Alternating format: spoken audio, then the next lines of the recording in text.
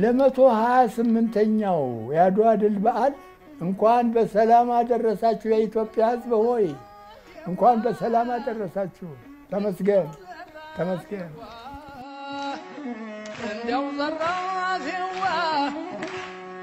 አንጋፋው አርቲስት አለማየሁ ፈንታ ወልደ ገብርኤል፣ እስቲ አድዋ 128ኛው ነው። ስለ አድዋ ድል ምን ይላሉ? ስለ አድዋ ድል እንግዲህ እንዴት ነበር ድሉ? እነማን ተዋጉ? እነማን ቆሰሉ? ማን ድል ሆኖ ወደ በመጣበት እግሩ? ማንስ ተቀዳጀ ነፃነት ላገሩ ይላል ነው እንግዲህ ይህንን በዘራፌ በሽለላ ያስተላልፈዋል። እንዲያው ዘራፌዋን እንዲያው ዘራፌዋ እንዲያው ዘራፌዋ አይቶ ነው አስተውሎ ነው ገምቶ ነው ውረድ። ይቸግር የለም ወይ ሬሳ መራመድ? ኧረ ገዳይ ኧረ ገዳይ ኧረ ገዳይ። ኧረ ዘራፌዋ እንዲያው ዘራፌዋ እንዲያው ዘራፌዋ እስቲ ዘራፍ በሉ ዘራፍ ለምን መጃል የጀግኖቹ መምጫ ከሰማይ ይልቃል።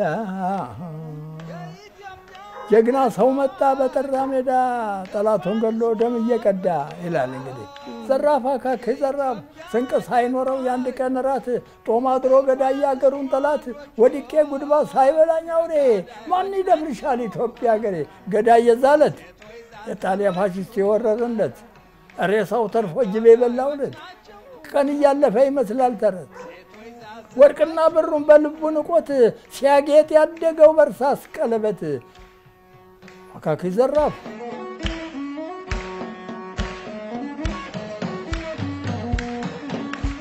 እንዲያው ዘራፌዋ ደግሞ አገር ሲደፈር ድንበር ሲደፈር አገር ሲወረር የሚያሰማው አንድነትን አንድነትን ጀግንነትን በተፈጥሮ የሚፈጥር ሙዚቃ የሚያዘጋጅ የደነበረውን የሚያረጋጋ እንዲያው ዘራፌዋ እንዲያው ዘራፌዋ እንዲያው ዘራፌዋ እንዲያው ዘራፌዋ እንዲያው ዘራፌዋ ያድዋና የማይጨው እንዴት ነበር ድሉ? እነማን ተዋጉ? እነማን ቆሰሉ? ማን ድል ሆኖ ሄደ በመጣበት እግሮ? ጎራውና ነረ ጎራው ነረ ጎራው ወረ ጎራው አይቶ ነው ገምቶ ነው መውረድ ይቸግር የለም ወይ ሬሳ መራመድ ረጎራው ረጎራው ይላል። ይህ እንግዲህ ትክክለኛ የሆነ ለሀገር ጉዳይ ለጀግንነት፣ ለአንድነት የሚያዘጋጅ ጀግና የሚፈጥር ሜዳ ላይ የደነበረውን የሚያረጋጋ የሸሸው ያቆም እንዲህ እንዲህ አይነት ስልት ያለው ስልት ያለው ባለሀብት ባለ ሙዚቃዎች ነን እኛ። የኢትዮጵያ ጀግኖች እንኳንስ ወንዶቹ እንኳን ለዚህ በዓል ለተከበረ በዓል እንኳን ይህንን ሁሉ ታሪክ ለማየት ያበቃችሁ መቶ ሀያ ስምንት ዓመት ቆይቶ ለዚህ ላደረሰን ለፈጣሪ አምላክ ምስጋና ይድረሰው።